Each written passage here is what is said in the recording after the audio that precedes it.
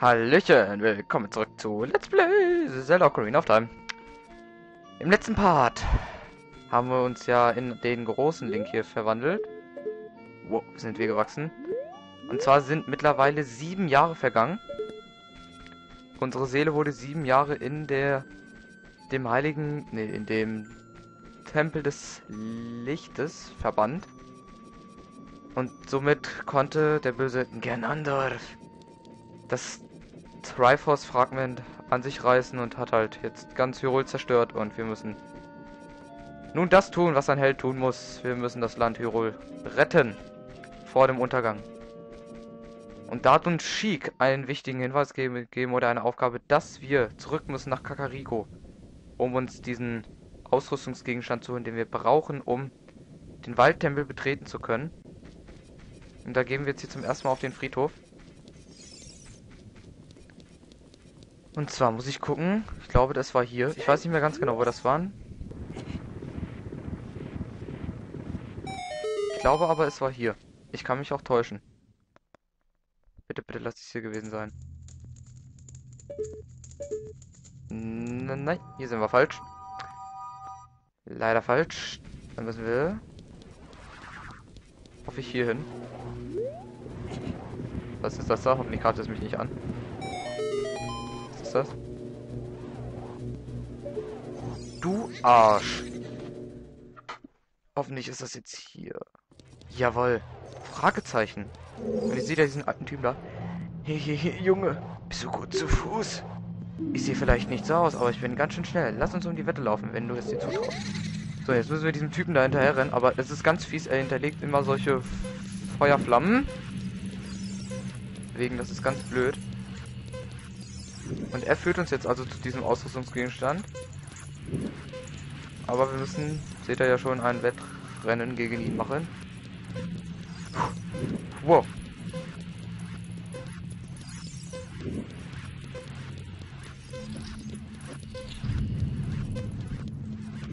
Wow, das meine ich. Dann verliert man immer wieder Zeit. Das ist das Blöde daran, das hasse ich unnötig Zeit, aber das fordert Geschick und Aufmerksamkeit. Ich glaube, jetzt ging es hier rum, genau. Ich nehme jetzt immer eine Abkürzung, wie ihr seht, zack. Er ist trotzdem mal vor uns da. Das sind auch ein bisschen Zeit weg. Wow. Aber normalerweise sollte man das schaffen. Also, wenn man jetzt nicht total behindert ist und nicht überall in die Flammen reinläuft oder jetzt hier nicht runterfällt, sollte man das eigentlich gut schaffen können in 1,5 oder so. Oh, 1,3. So, mal gucken, was er uns dafür gibt. Reden. Die Zeit beträgt eine Minute drei. Hehe, Junge. Du bist gut zu Fuß, was? Zur Belohnung werde ich dir meinen Fanghaken anvertrauen. Damit wirst du nun an Orte gelangen, die bisher außerhalb deiner Reichweite lagen. Besuche mich doch mal wieder. Wenn du in der Gegend bist, dann gebe ich dir wieder etwas Wertvolles. Noch etwas. Sei auf deinem Rückweg sehr vorsichtig. Okay. Keine Ahnung warum. So. Da ist also der Fanghaken drin. Oh mein Gott, ist das aufregend. Ein Fanghaken. Ach du Scheiße, ach du Scheiße, ach du Scheiße. Fanghaken im Gegenstandsmenü kannst du ihn auf links, oder rechts platzieren. Benutze ihn, um entfernte Objekte zu dir zu holen. Oder um dich an ein Objekt heranzuziehen. Halte C gedrückt und ziele mit dem Steuerknüppel das C los.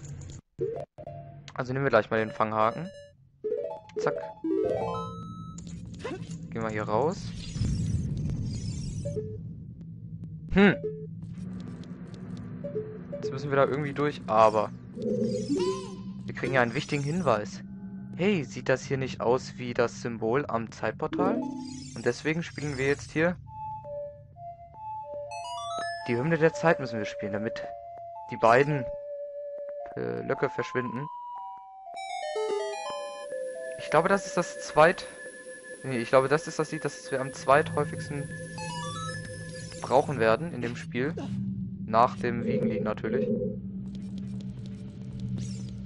So. Und hier landen wir in der Mühle. Wo wir noch nicht drin waren. Da unten sitzt irgendeiner. Ich probiere den gleich mal aus. Gut, da funktioniert es nicht. Da funktioniert es auch nicht. Aber diesen Herzcontainer holen wir uns. Nein. Oder doch nicht. Oh, oh, oh was ist, ist mit dem los? Grrr.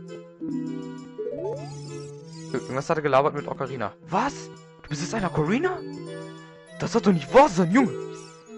Das erinnert mich an diesen Tag vor genau sieben Jahren. Damals kam so ein Rattengesicht hierher herein und hat ein seltsames Lied gespielt. Das hat alles durcheinander gebracht. Nie werde ich dieses Lied vergessen. Ja, dieser Typ, ey, der regt mich die ganze Zeit voll auf. Ach so. Spiele die Melodie mit A und C. Die Hymne des Sturms haben wir gespielt.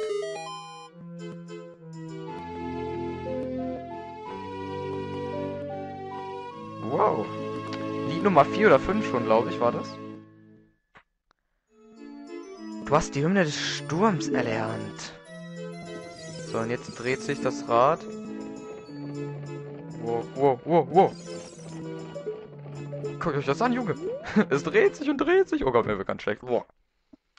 Alles klar, da wo wir jetzt den Fanghaken haben, können wir ja jetzt eigentlich mal in den Kokiriwald zurück, oder?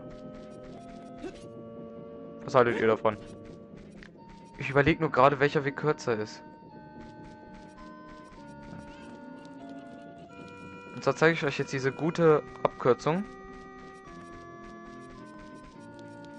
Wo ich vor ein paar Parts, glaube ich, gesagt habe, noch am Anfang, als wir sieben Jahre jünger waren, habe ich ja gesagt, dass wir noch keine Bomben haben.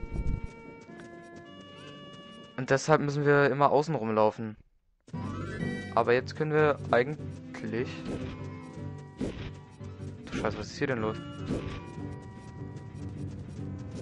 Und deshalb können wir jetzt, da wir Bomben haben, können wir jetzt eigentlich den geheimnisvolle Abkürzung nehmen durch Goronia. Ihr werdet hoffentlich noch wissen, was das ist. Scheiß, scheiße. Oh, weil hier sieht viel, viel düsterer aus als noch vor sieben Jahren. Mann, was sich so in sieben Jahren alles getan hat, oder? Schon Wahnsinn. Naja, aber das Schicksal hat es auf uns abgesehen. Wir sollen Hyrule retten. Das ist ja auch schließlich unser Job, ne? Wir werden ja dafür schließlich bezahlt. Wir kriegen ja an jedem Tag ein bisschen Geld überwiesen auf unser Konto nach Hyrule. Deswegen jetzt nachts. Mal gucken, ob sich irgendwas hier geändert hat.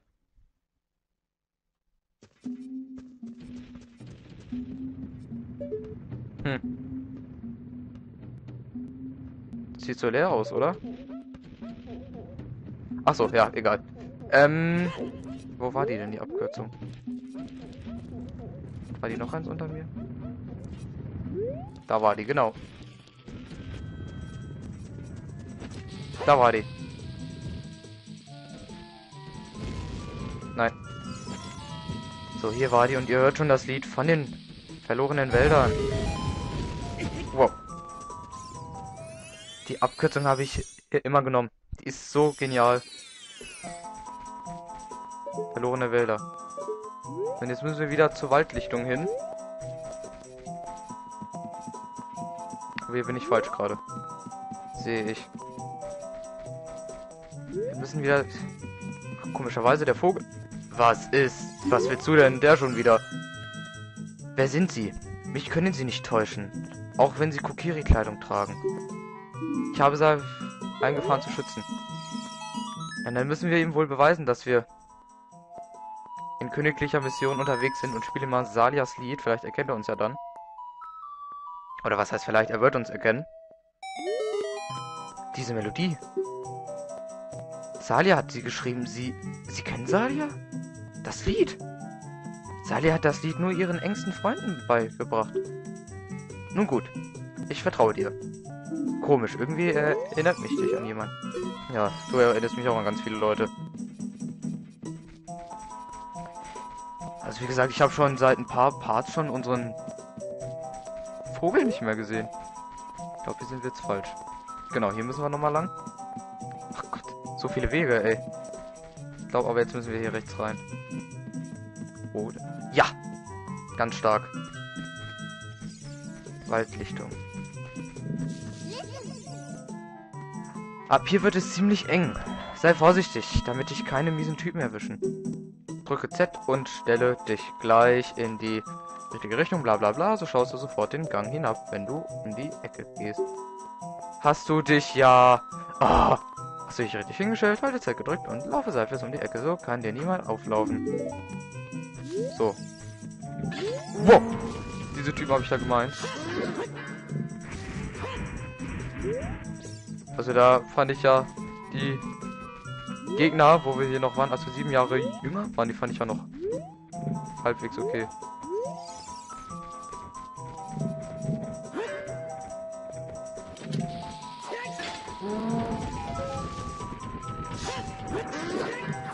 So ist er auch tot.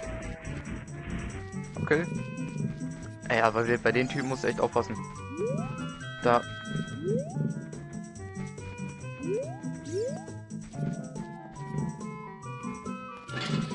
Wow, wow, wow, wow, wow, wow. So, auch tot.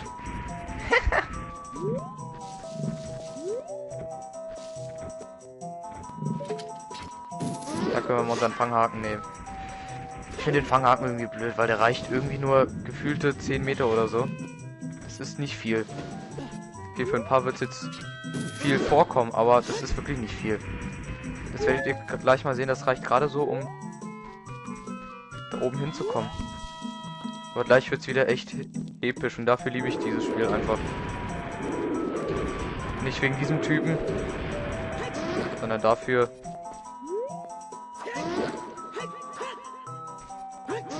Und dafür. Ich hoffe, dass es uns jetzt ein paar Rubiens gibt. Weil das ist einfach, finde ich, die epischsten Momente. So. Hier waren wir ja schon mal.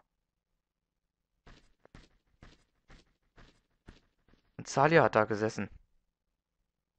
Aber jetzt nicht mehr. Jetzt ist sie weg. In den Waldtempel geflüchtet. Und da ist Sheik. Und diese Melodie, ne, ist einfach nur episch. Da kriegt man echt Gänsehaut. Der Fluss der Zeit ist grausam. Seine Geschwindigkeit scheint für jede Person vorbestimmt. Niemand hat die Möglichkeit, sie zu ändern. Etwas, das sich nie verändern wird, sind die Erinnerungen an vergangene Tage. Genieße da jede Sekunde deines Lebens. Mit dem Menuett des Waldes kehrst du zum Waldtempel zurück. Wow, schon wieder eine neue Melodie.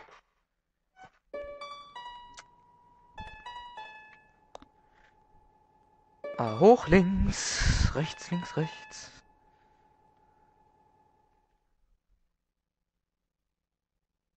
Ah, hoch, links, rechts, links, rechts.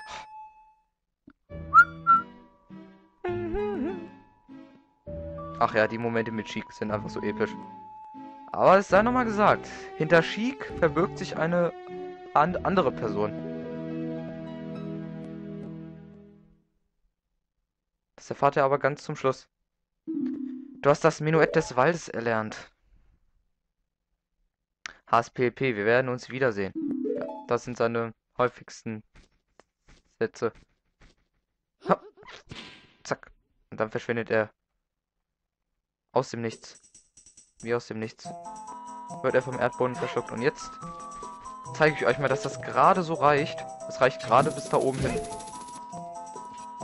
So, und im nächsten Part, da gehen wir es dann richtig an. Da begeben wir uns dann zum ersten Tempel, zum Waldtempel. Vielen Dank fürs Zuschauen und bis zum nächsten Mal. Euer HSPP.